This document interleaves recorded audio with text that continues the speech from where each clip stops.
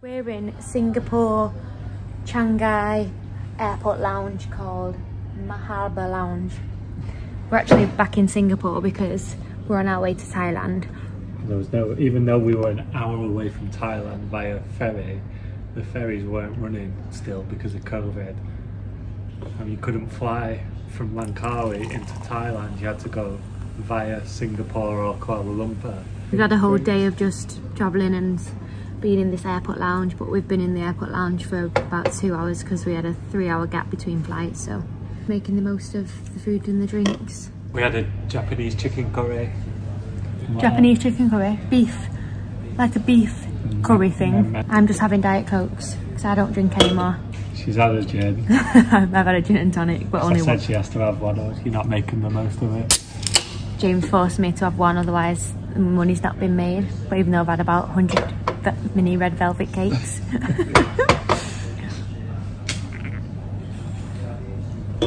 I'll go and show you the foods and the drinks.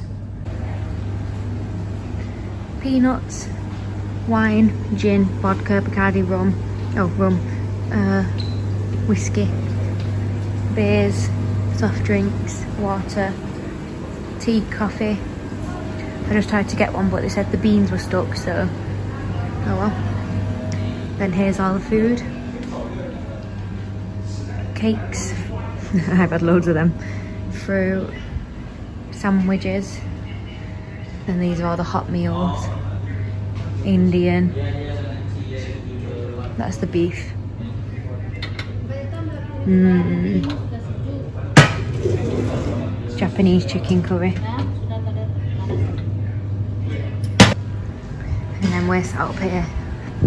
See you in Phuket. Surprise! Not actually in Phuket anymore. We're in Koh Lanta. We was in Phuket for one week, one week, seven days, seven nights. To be honest, we didn't really do anything. We just kind of chilled at the beaches or the pool. First day we got there in Phuket, we just checked out the beach. Patong Beach, that's the area where we stayed. That's like the busier area where all the backpackers go. Um, and then the second day we hired mopeds and we went to the other side of Phuket where the mall is because James wanted to try and find a razor for his beard, a beard trimmer. And also it was a bit of a rubbish day because I had water in my ear from the beach day be- the day before so I couldn't hear anything. It was like my ears were all muffled. We went in two pharmacies in the mall and they didn't have ear drop. My head was tilted like that the whole day trying to get the water on me. So that day was stressful. James said he wants to drink that night. So that night we did actually go out drinking. We went to a backpacker bar, which was quite busy and quite nice. I think I've got a video of that. Um, we just drank. The next day was a write-off because I can't have alcohol anymore.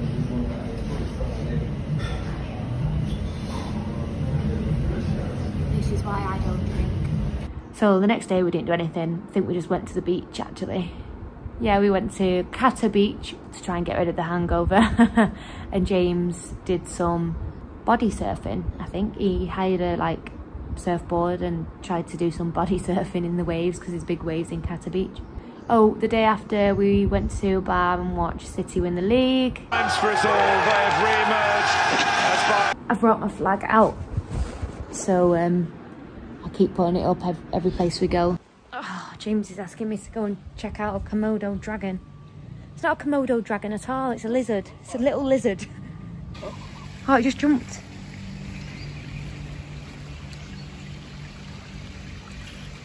Oh, it's gone. James is in our pool. Is that a Chelsea ball? Yeah. This is our look like like this one. This is the same as ours. There's the pool.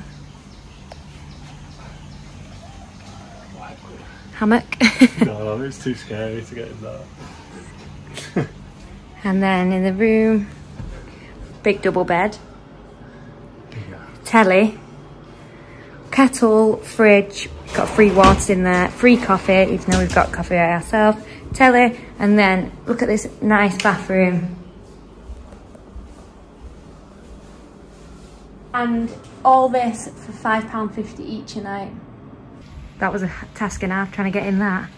Because look at how over the edge. Made it. You're going to be in there for a while, aren't you? Yeah. We're going to go out and check out Koh-Lanta. Probably get something to eat. We've come in this cute little restaurant called Tamarind. I love it. I love I love Koh-Lanta. So cheap. They've got, look, if you want a sandwich, 80 baht, less than two pound. Pad Thai 60, that is literally about one pound 40. I think I know what I'm getting already. And it's gonna be one of those.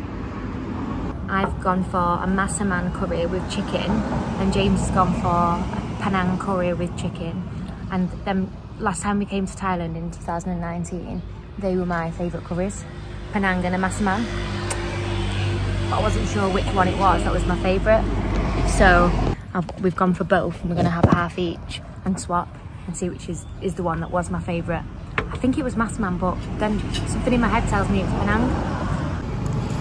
That's the Massaman. Nice. Really good. I think it might be this one. Really. Yeah. Okay, and here's the Penang. Which one looks the best? Oh, I don't know. They both look so good. Verdict was, it was the Penang curry. That was my favourite. Oh my god. Beautiful. The Massaman was nice too, but Penang tops it. So good. You agree with me? Yeah. Penang better than Massaman? Yeah. What do we have here then? There's a Penang curry. There's a Massaman. Thai green curry, I reckon you are. And over here we have a Thai red curry. Mm. We're off out. We're going to try and catch the sunset, but I think we may have Tide. God. We're going to try and catch the sunset. I think we've missed it though. And we're also going to head to a bar called Funky Bar. Ch um, I think it's you. Monkey Bar, is it? Or Funky one called Cheeky Monkey. Cheeky Monkey, that was it. Cheeky Monkey Bar and Funky Bar. Fun- funky, funky monkey, I think. Funky Monkey. this is our beach. Look at this weird thing. It's a crab with a helmet on. Looks like Funky Monkey's closed down. We just passed a big Irish bar which is shut down as well. Yeah, all of them, like, it's a bit of a ghost town to be honest. Everything's shut, look. Obviously happened since COVID and nothing's been able to reopen. That looks like, let me turn it around. That looks like it used to be a very big nightclub bar. And what a shame that it's shut. We're walking up here. So we've come in this little restaurant called, I don't know because it doesn't have a name anywhere, what the restaurant's called. Mamadang Kitchen. I've gone for a veg- vegetarian dish today. It looks damn good. Mmm, here's mine. Mmm, that's James's. This is going to be so good. You need a light up. We've had a paddle cut in the restaurant. Oh, we're back. Cheeky monkey. Also shut. Yay, new day. We've um, been to get a moped. It's a red one. Boo. There it is. What's the plan for today? Moped in. National Park. Hike on the national park, is it? Hike. Yeah, I don't know if it's a big hike. Apparently it's quite challenging because it's steep, but I don't, I don't think it's long. I think it's only about three or four k.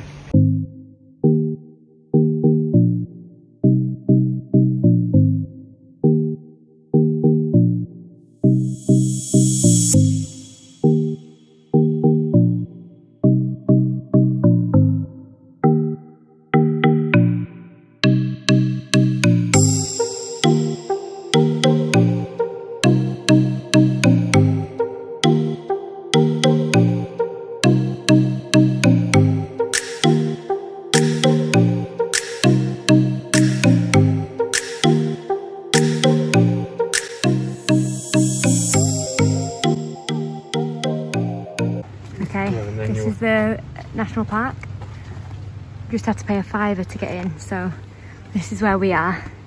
We're gonna walk up this nature trail Forest. all the way around the park and then the beach. you come out here at the viewpoint and where the beach is. And then Nice walk beach. across to the lighthouse and this is a hill you climb. So that's the beach there. So come out on the other e- side of the beach and that way. I don't want to go and look at it yet. I want, I want it to be a surprise after our forest. Off we go. We're gonna get bit like crazy here, aren't we? Good job we put our mozzie spray on before we came out.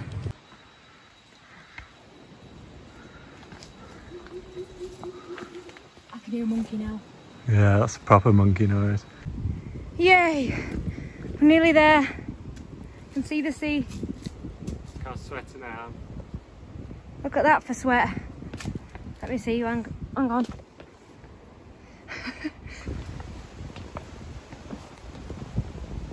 Lovely.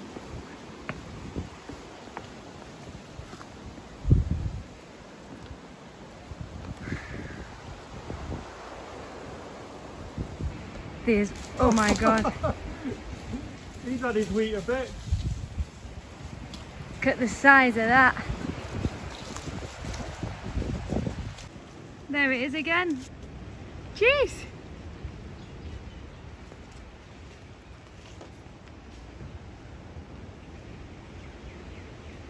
We've just seen on our mo motorbike, for a start it's red, boo, but look at the bloody number plate.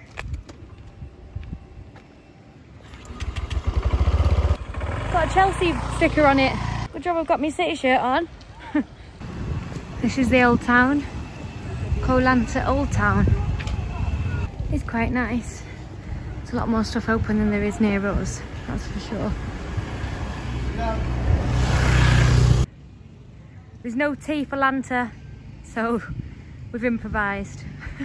it's funny because your t-shirt matches that tea as well. Look at this elephant.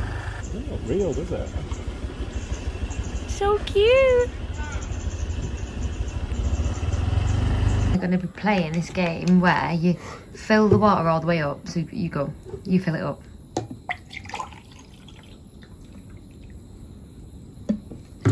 Right, and then whoever tips it over the edge loses. Alright, it's getting serious now, look at that.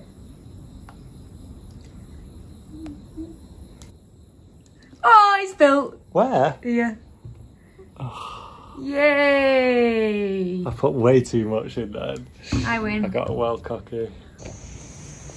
We're in a bit of a rush this morning. We're on our way to the animal welfare, animal welfare charity, dogs home, dogs and cats home sort place.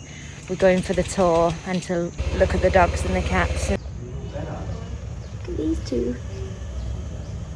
Two black ones with the same colour eyes. Yeah, so cute. You like that? These are all the dogs and the cats you can adopt. Look. I've picked one. If I had to adopt one, it'll be Forest. I'm adopting Boise. James likes Boise. But look, even Birdie, look at Birdie. No, and Nixon, seven-year-old Nixon. Look at him. They're all so cute. Carson. Oh, oh no, look at that face. Here's Cherry. Cheers. Hiya, Pat. Cherry. It's Ty Pat. What's his actual name on his collar? Uh, Taro. Oh, Taro. This is what Pat Oh, he likes likes to say. that. That's Forest.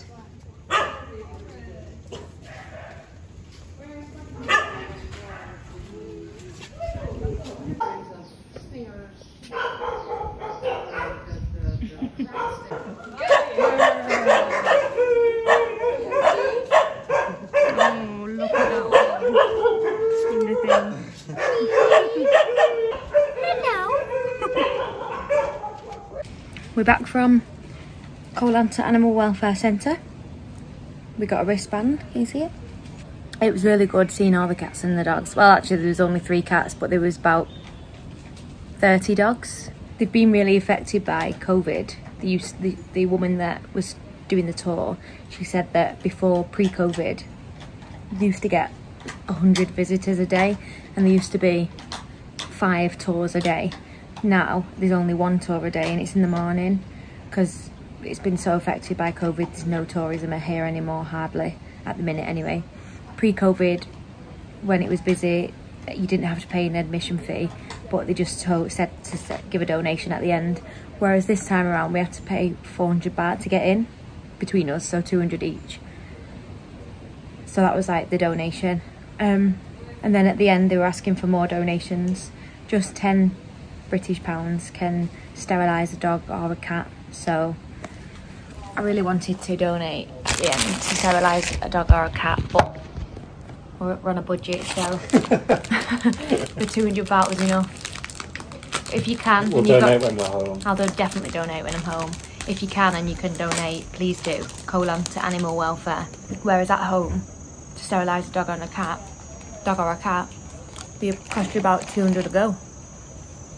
200 quid a go. She told us about the owner of the place, who's Swedish. Came over here 20 years ago and there was just loads of stray dogs and cats. Well, dogs mainly. So that's why she set up the centre. So it started really small, and now it's grown to the third biggest one in Thailand, she said, after Bangkok and Phuket. Yeah, because this island is predominantly Muslim island. They don't necessarily like dogs, so some of them can be really mean to them. She told us a story about one dog who was just walking down the street and got attacked with baseball bats from behind for no reason. There's also a story of a cat who could smell fish, so it went smelling the fish out, and it was a guy who was preparing some fish, but because he didn't like the cat being there, he poured hot oil all over the cat.